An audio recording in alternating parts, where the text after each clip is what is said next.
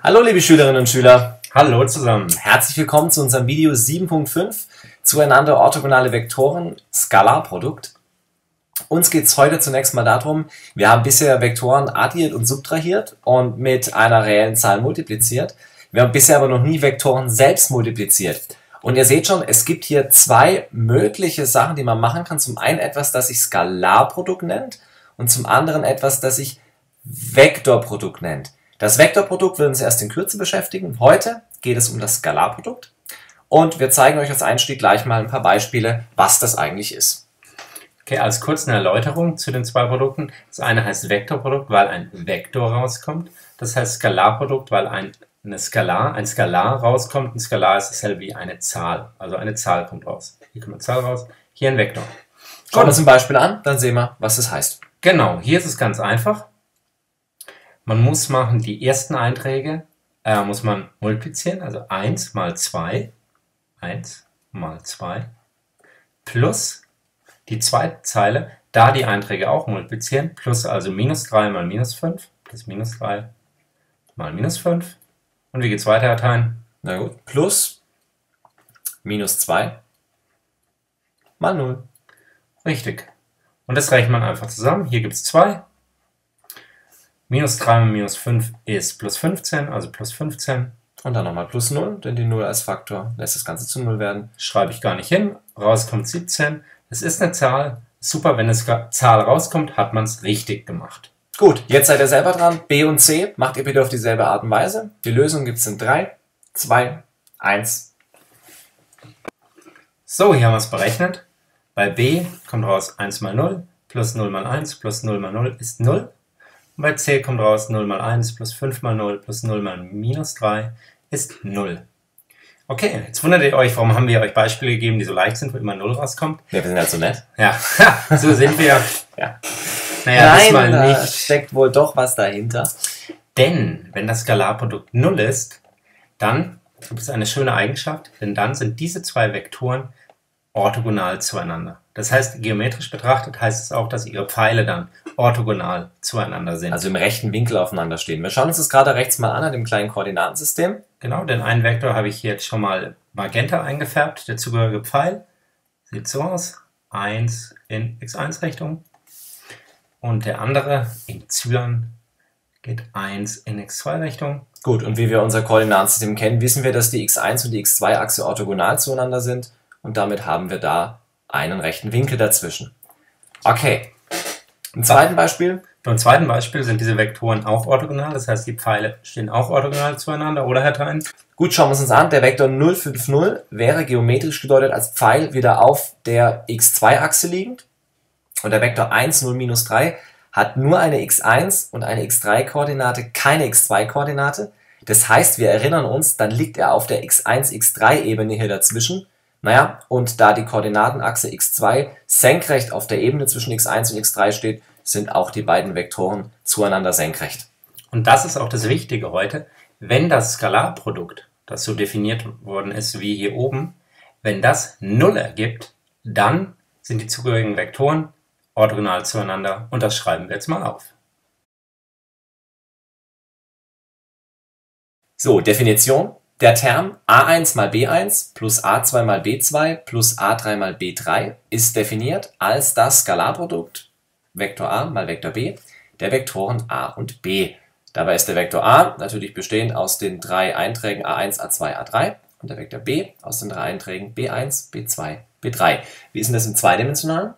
Im zweidimensionalen haben wir dann den Term a1 mal b1 plus a2 mal b2. Das heißt, die a3 und b3 Komponente fehlt. Die fehlt aber natürlich auch bei den Vektoren a und b.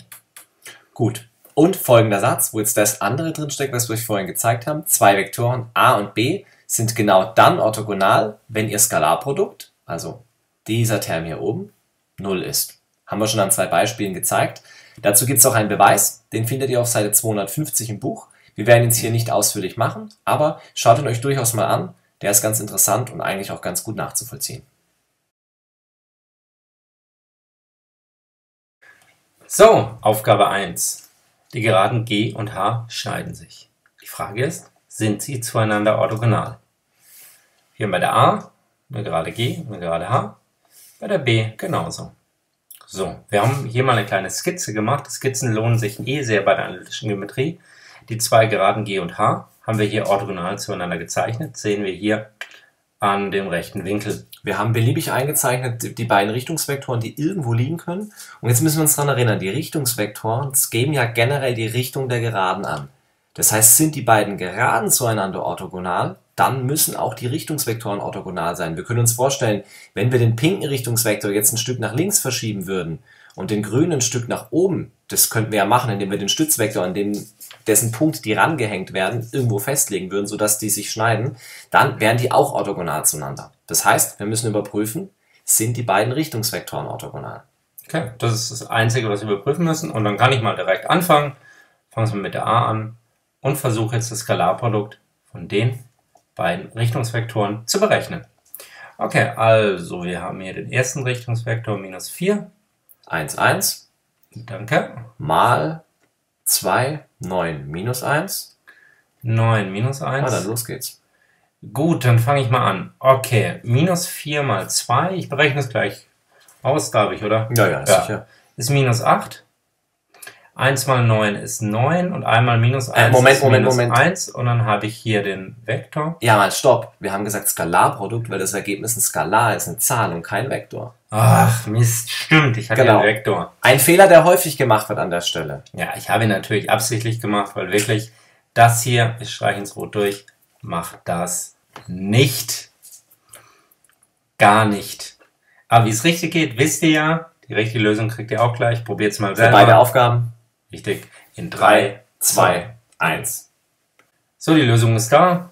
Hier gibt es Skalarprodukt minus 8 plus 9 minus 1 ist 0. Das heißt, es passt. G und H sind zu, zueinander orthogonal, da die Richtungsvektoren zueinander orthogonal sind, da ihr Skalarprodukt 0 ergab. Bei der B haben wir es genauso gemacht. Skalarprodukt der beiden Richtungsvektoren gebildet. Hier gab es minus 23, also nicht 0. Damit sind die Richtungsvektoren nicht zueinander orthogonal. Damit sind auch G und H nicht zueinander orthogonal. So, Aufgabe 2. Bestimme alle Vektoren, die sowohl zum Vektor a 3, 2, 4 als auch zum Vektor b 6, 5, 4 orthogonal sind. Okay, das heißt, wir suchen jetzt eine ganze Menge Vektoren anscheinend, die zu beiden definitiv orthogonal sind. Wenn ihr eine Idee dafür habt, probiert's mal. Wenn nicht, könnt ihr auch den Ansatz abwarten, den zeigen wir euch in 3, 2, 1. So, wir überlegen uns folgenden Trick und zwar, wir überlegen uns mal einen allgemeinen Vektor x mit den Koordinaten x1, x2, x3, der zu a und b orthogonal ist. Was muss dann folgen? Naja, das Skalarprodukt a mal x und b mal x, ich habe es hier mit den Koordinaten hingeschrieben von den beiden Vektoren und von x, muss jeweils 0 sein. So, und die beiden Zeilen, die hier stehen, sind ein LGS. Und das können wir jetzt lösen. Probiert's mal. Für alle, die noch Probleme haben, ich gebe mal einen Tipp. So bin ich halt. Ach, Ja, hm. Ihr könnt euch auch dann noch eine dritte Zeile vorstellen, wo einfach 0 gleich 0 steht. Und ihr wisst ja, was ihr dann macht, wenn ihr so ein LGS habt. Naja, dann habt ihr einfach die x3-Koordinate frei gewählt mit irgendeinem Buchstaben. Aber jetzt aber viel verraten. Aber Ja. gut, wir sind ja nicht so. Probiert's mal. Die komplette Lösung gibt's dann in 3, 2, 1. So, wir haben das Ganze nochmal als richtiges LGS aufgeschrieben und die dritte Zeile mit 0 ist gleich 0 ergänzt. Tipp vom Herrn Fähnrich, werden wir gleich sehen, warum es gut ist. Ähm, ja gut, wir müssen erstmal hier die x1-Koordinate in der zweiten Zeile wegbekommen, ähm, mal minus 2 und addieren. Dann kommen wir auf diese Stufenform hier und wir erinnern uns, wenn eine Stufenform endet mit 0 ist gleich 0, dann können wir die x3-Koordinate frei wählen. Und das machen wir, sind x3-Koordinate frei wählen, ja. Das machen wir mit einem Parameter. Dann nehmen wir hier t. Und dann lösen wir die anderen beiden Gleichungen auf, sodass wir x2 und x1 auch in Abhängigkeit von t kriegen. Das wäre in dem Fall 4t und minus 4t mit t-Elemente reellen Zahlen. Dann ist das hier, dieser Vektor x, der allgemeine Vektor, der alle Vektoren beinhaltet, die zu 3, 2, 4 und 6, 5, 4 orthogonal sind. Wir machen mal ein Beispiel. Also Genau. wenn t 1 wäre, wäre zum Beispiel ein Vektor, der gehen würde x1 minus 4, 4, 1. Oder wenn wir für t äh, minus 2 wählen würden, wäre ein Beispiel Vektor x2 8 minus 8 minus 2. Also ihr seht, auch hier spielt das LGS mal wieder eine Rolle. Es wird uns immer wieder begegnen.